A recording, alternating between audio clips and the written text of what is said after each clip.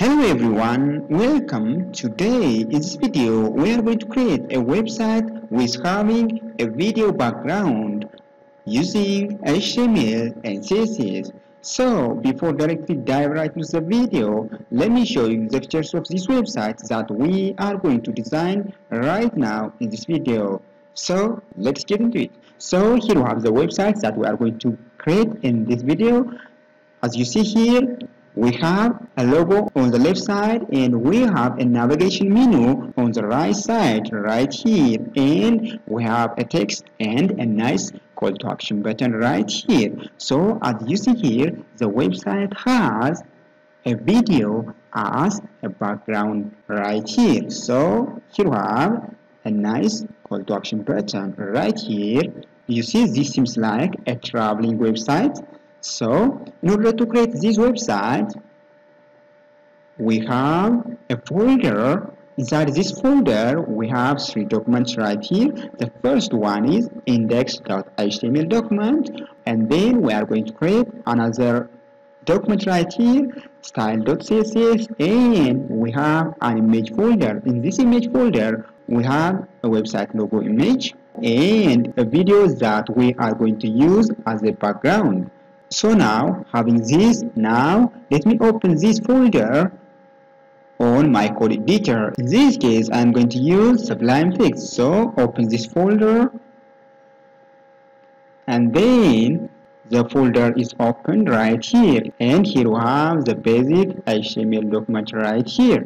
So again, here we have a style.css document with having a universal selector right here and using using HTML and body element selector we have just done some rules right here. So here we have font family font size and text rendering optimize legibility. Now we have just linked this style.css with an HTML document right here using a link tag inside the head section right here. Here is it the title of the project and here we have the link tag right here okay now we are going to create the website right here. So first we are going to create a div element having a class name header and inside this header we are going to create a nav element having a class name navbar. Inside this nav element we are going to create we are going to nest an img element and then we are going to nest again an order list. Inside this unordered list we are going to add an anchor element that contain a navigation menu right here. Here is it right? So using this class selector header let me add some property value pair. The first property is background image let me say having a linear gradient right here.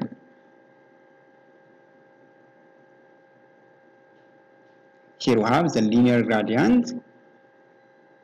Having an RGB color code right here. And background repeat no repeat background size cover. And background attachment fixed with 100% and height 100 viewport height. Having these, save and refresh, here we go. And then copy this and paste right here. And then using this class selector right here, navbar, we are going to add some property value pair and an image in the selector right here. We are going to resize the logo for this website right here. So again using this class selector navbar we are going to add some property value pair right here. The first property display flex align items center and justify content space around after that, padding 10 pixels from top and bottom and 20 pixels from left and right and then with 100%. Here is it. Awesome. yes right so now let me this comment let me leave this as a comment in order to clearly see this so again copy this and paste right here and using an element selector descendant selector right here li now let me add some property value pair. The first property is display line block. And then padding 0 and 8 pixel after that list style none in order to remove the bullet point from this list item right here. Here we go. Awesome. Now again copy this and paste right here. After that we are going to use this anchor element selector right here. So over here what we are going to do is to add some property value pair text decoration none in order to remove the underline and font size 27 pixel and color white transition 0.5 second. So when I save and refresh here is it right? So now let me comment out this. And I remove again here. That's it. So that is. So now we are going to add a hover over effect over this navigation menu. To do this, we are going to use a pseudo class selector hover right here and color orange red and border bottom to pixel solid dark orange. So when I save and refresh, before that cursor pointer and here we go. Nice. Okay now we have just finished the navigation menu. So now we are going to create another div element right here having a class name container inside this div element we are going to nest an h1 element and paragraph element right here. Here is it. So again we are going to nest a div element having class name btn inside this div element we are going to nest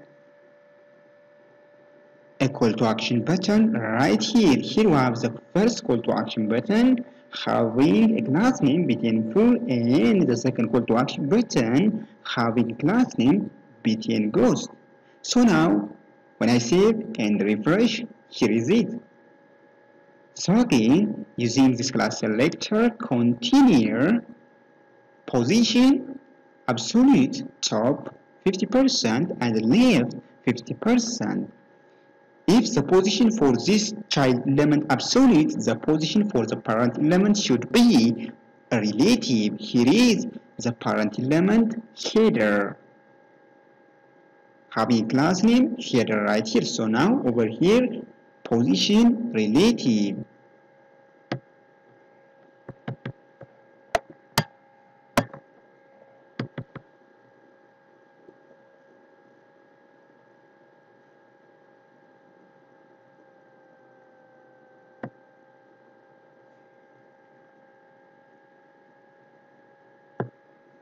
Okay trans okay now copy this and paste right here and then using an element selector h1 right here font size 55 pixel and color white text align center and text transform let me say capitalize.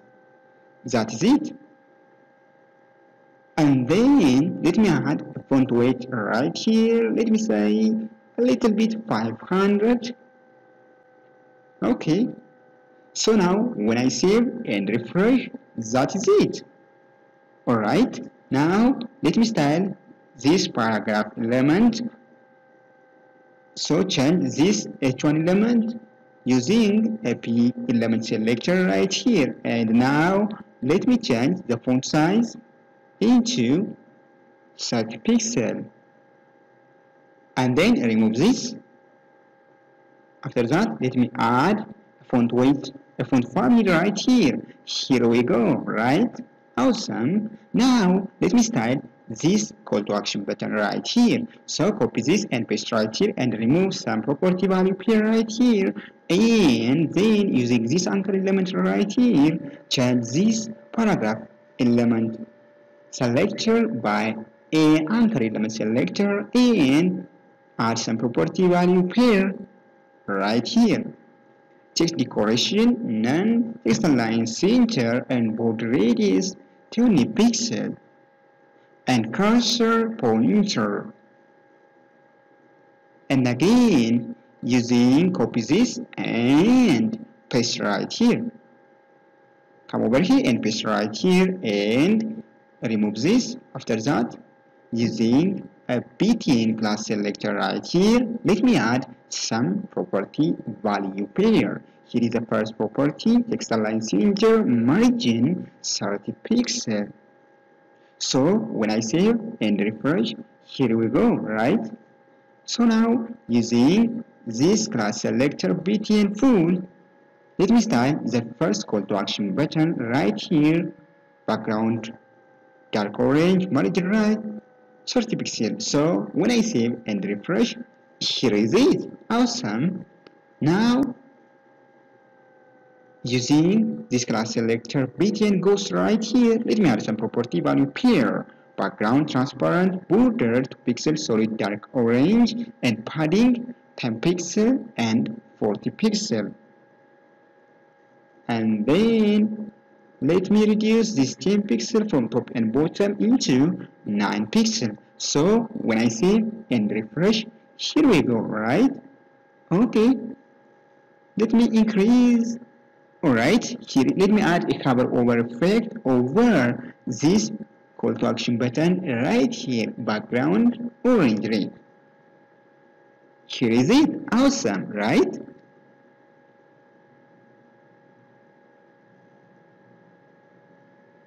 now let me add a video background over this. So in order to create a video background over here come over here and create a video element right here having a class name bg video. And then inside this video we are going to nest a source. In this source element we are going to add the video source. We are going to link the video source or the directory of the video. Here we go. The the video is found inside the image folder and which is the name of the video is fish.mp4 having a type attribute having the value of type attribute video and then here is it right awesome. But now let me add some property value pair using this class selector bg video right here.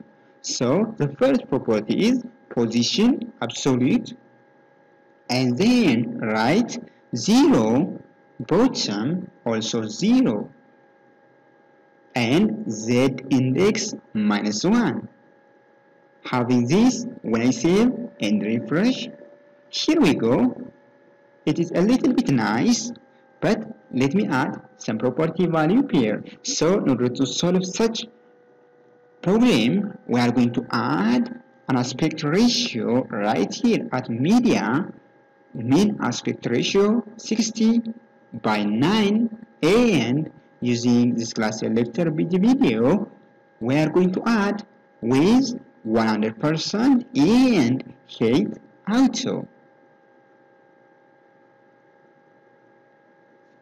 And then having this when I save and refresh here is nice right?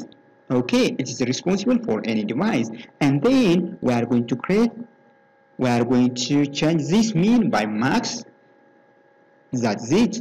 And change this width into auto and height 100% in order to responsible for any device right here. Alright so when I save and refresh here we go right? Awesome. Website having a video background right here which is very very nice. So what are you waiting for? Please subscribe this youtube channel for more programming training video. Just like this one. With that being said thank you for watching. I will see you in the next video. If you have any question concerned here let me know in the comment section below